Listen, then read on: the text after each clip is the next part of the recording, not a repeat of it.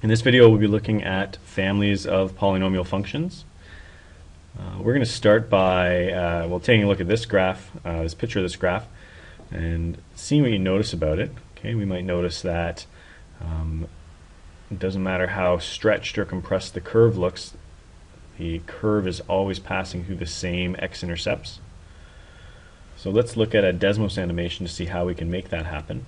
Here I have uh, three different functions but all three functions have the same three factors, the same three x-intercepts. So x-intercept at positive 1, negative 2, and negative 3. So they're all passing through the same x-intercept. The difference in these functions is that they all have different um, stretch factors. So one has a stretch factor of 1, another one has a stretch factor of negative 0.5, which reflects it. It's my green curve. Third one has a stretch factor of 2. And let's just look at what happens when I change these stretch factors. Look at how the curve is behaving as these stretch factors change. So they're definitely getting more stretched, but at the same time they're always passing through the same x-intercepts. So it doesn't matter what these values change to, the curve is passing through the same three x-intercepts. So even though the curve look different, looks different, they have some similar characteristics. So that lets us define what a family of functions is. A family of functions is a set of all functions that have the same zeros.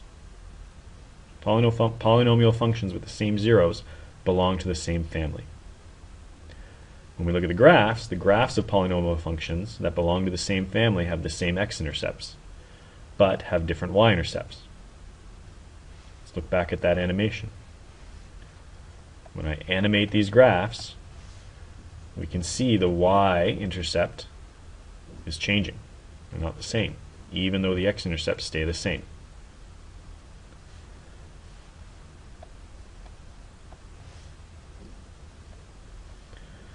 We can write an equation for a family of polynomial functions that have different sets of zeros as y equals some k value.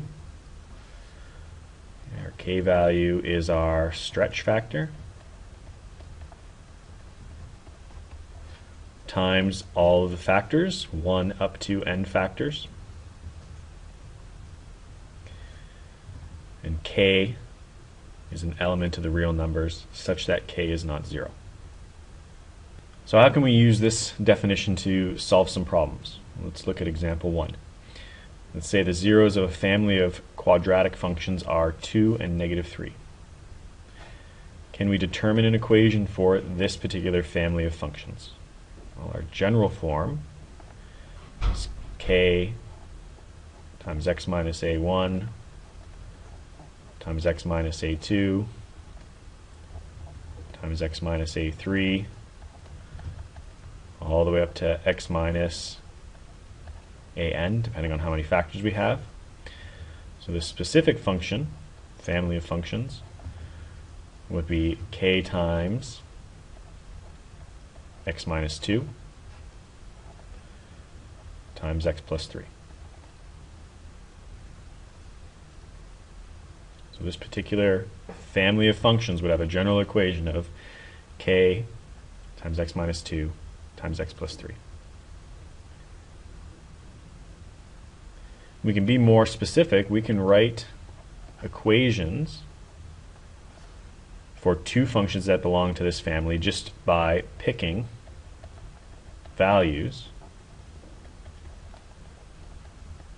for k. So I could pick a value for k. I could say k is 2.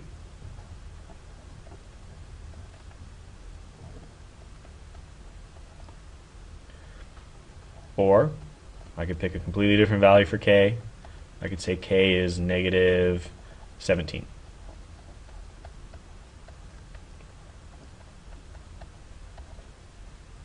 Okay, so there's two different functions that belong to this family. But I could get crazy. I could pick wild values. I could make k equal to our value for pi.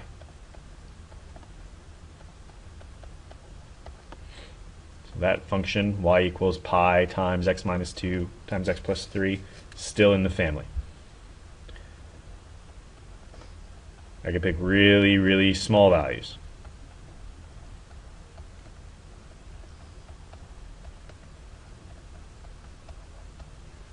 So 0.0001 times x plus 2 times x plus 3, still a member of the family, and I could keep going. The point is, if I'm being asked to write any two functions that belong to this family, I can pick any values of k that I want. Where we start to get specific is when we're asked questions like C that has a condition. Determine an equation for the member of this family that passes through the point 1 and 4. So I'm going to take that point and I'm going to sub it in for x and for y. So if my family is y equals k times x minus 2 times x plus 3, I need to solve for k by subbing in the point 1 and 4 for x and y.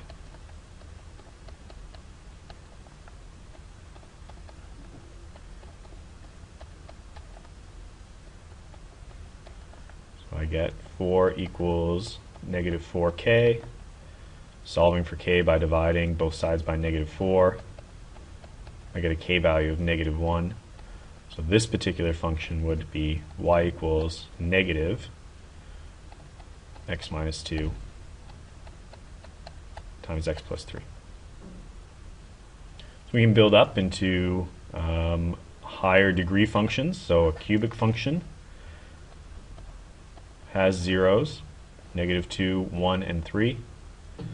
So an equation for this family would be k times x plus 2 times x minus 1 times x minus 3. Write two equations in this family. Again, we can just pick values for k.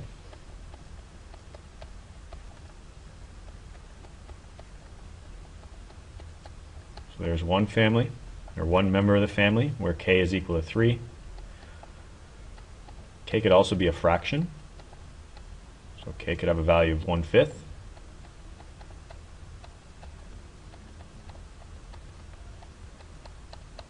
There's a second member of the family, 1 fifth times our three factors. And to answer part C, determine an equation for the member of the family whose y-intercept is negative 15. We just need to decode that. A y-intercept of negative 15 means a point at 0 and negative 15, which we're going to sub in for x and y. So y is negative 15, x is 0,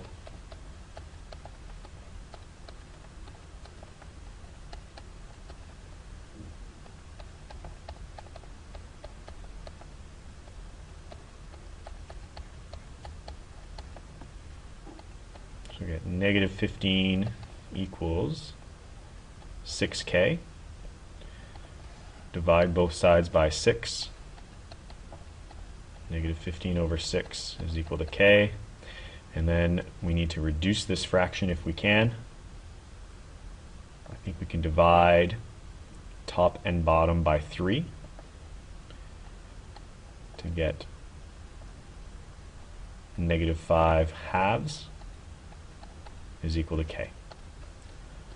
So our equation would be y equals negative 5 halves times x plus 2 times x minus 1 times x minus 3. So your challenge, or your task, could be to then sketch the graphs of the functions in part B and C. I would say do that using technology like Desmos. So just do quick sketches of these three equations in Desmos to see how they compare. And our final problem in this video, and one I'm only going to do half of because I'm going to leave the other half to you to see if you can solve. We'll take it up in class. Determine a simplified equation for the family of quartic functions with zeros plus or minus 1 and 2 plus or minus root 3.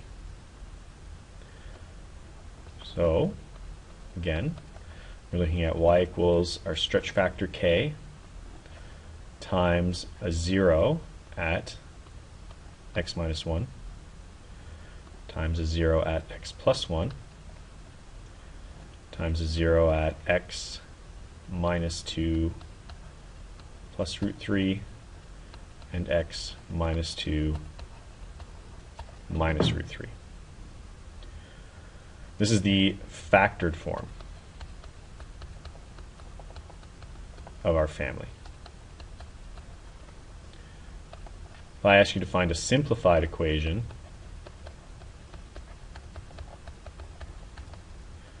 what I mean is to expand all factors. And that's the challenge I'm going to leave you with. See if you can expand this quartic function into simplified form. And we will take this up in class, start a class tomorrow, and see if we get the same answer.